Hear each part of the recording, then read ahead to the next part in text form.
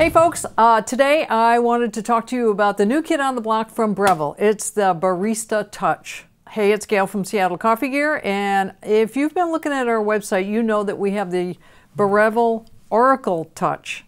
This is similar in that it has the screen like this with the interface. Unlike the old Barista Express, which is it's the next generation, this machine has two programmable buttons uh, grinding and you do the tamping and the milk is not automatic. You are going to choose the amount of foam that you introduce into the milk plus the temperature just by doing your manual frothing. This machine is very different.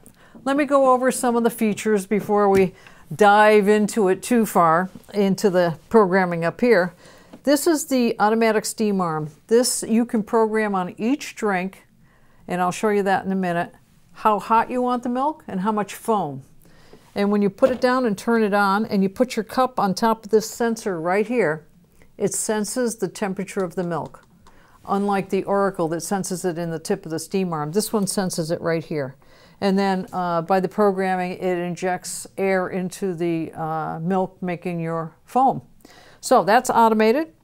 Uh, the grinding is uh, automated as well to the point that it grinds whatever you ask it to put down into the portafilter you are still going to level it off and do the manual tamp.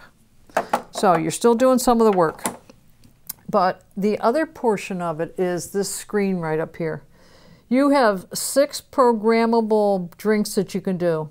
Espresso, Americano, latte, flat white, and cappuccino. And then the hot milk, you can do a portion of hot milk. And then you can get into making six more drinks that are programmed for you and then you can actually put your name on it. Let's look at this one. Flat white, we got a double. And then we can change the temperature of the milk. It's at 150 right now. I like it a little hotter. Let's take it up to 160. And then the amount of foam is four. No, that's not nearly enough. Let's just take it right up there. Now, if I was to make that drink, it'll make it just like that. That's what it's going to do, which is kind of nice. So same thing. And then when I, after I get done doing that, I go like this and I pick an, one of these icons. Pick an icon for yourself. I'm going to pick this one. Now I can name it Gail.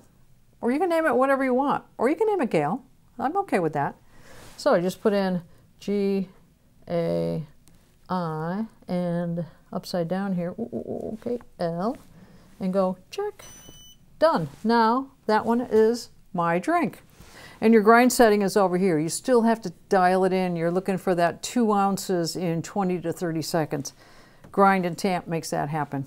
So if you have a bunch of people in your home and you want a bunch of programmable different drinks, this machine is great for that. It sports about, you know what, I couldn't find the stats on this, but I'm going to say this is about an 8 ounce uh, uh, bean hopper up here. And true to all the bean hoppers that Breville has, you can lock it and take it out, change the beans, and then put it back in. You can also take the top burr out, clean it out, get rid of any of the junk in there, and put it back on again, which is kind of nice. And if you noticed it beeped when I took that off, it disables it so you can't use it.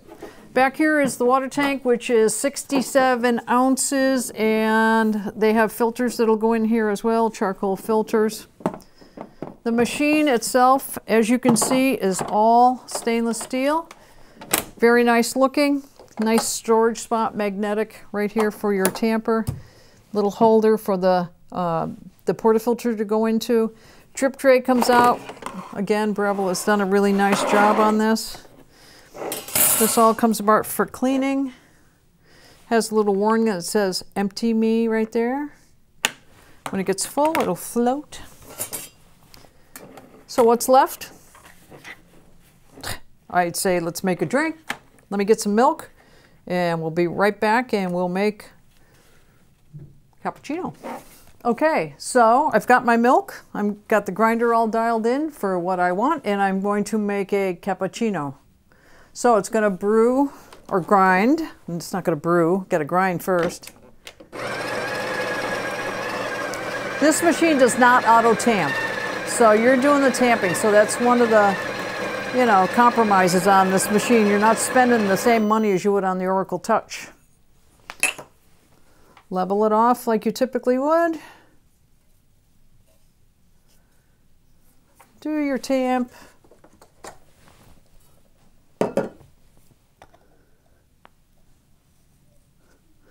Take the razor to it.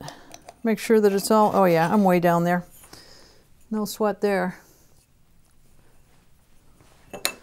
Engage this in.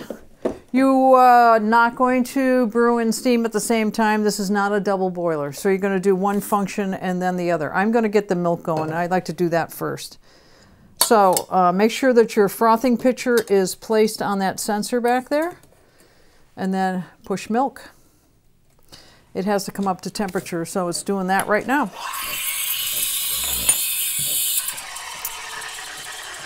So, no auto on. You cannot control the temperature of the boiler.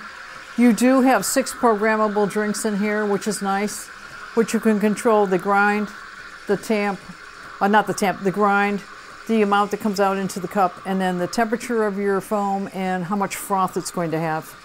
And it adds, uh, it adds the air accordingly, and it's, it'll be checking the temperature as well.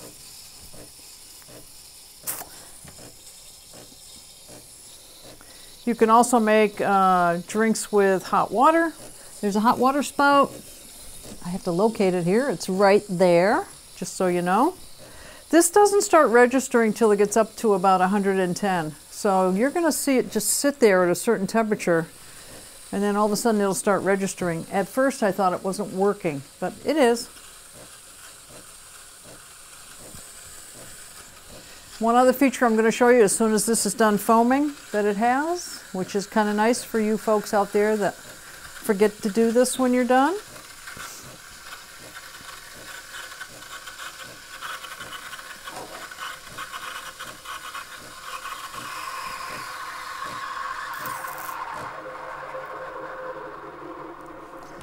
All right.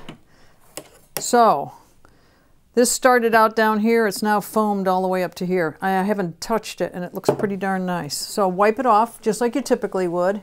And then when you push it down, it auto purges. It's going to squirt water out, see? Which is nice. Gets rid of all the residuals in there. And now I'm going to ask it to brew.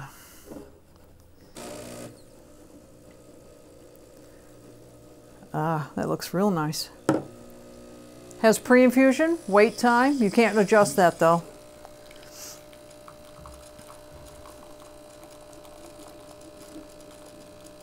Today we're brewing up the Black Cat Organic Espresso from Intelligentsia. Quite like that.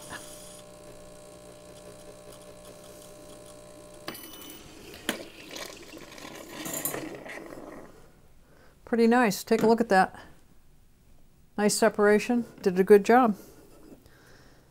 Now if I could get some art out of it. Right, Gail, she says. Yeah, no. Mm -mm. The other day...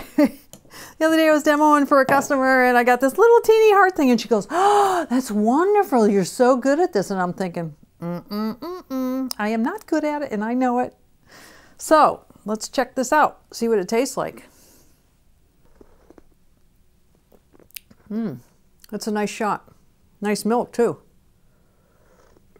I was going to tell you about the pros and the cons and who this machine is for, but you know, I think I'll just go, go drink the drink, right? Nah, I'm going to talk to you about it. Who's this machine well suited for? Uh, somebody that wants to do some of the work, but not all of the work. You want the programming. Something um, has them uh, maybe low countertop uh, cabinets or they're hanging down, low upper cabinets. This is only 15 inches tall so it'll fit under most upper cabinets, which is nice, unlike some machines that don't fit. Smaller footprint, auto milk, uh, has a regular portafilter, pressurized and non-pressurized. You can get as fussy as you want to get. It has a grinder built into it. Another pro on this machine is you don't have to wait five minutes for it to come on. This machine is ready in about five seconds.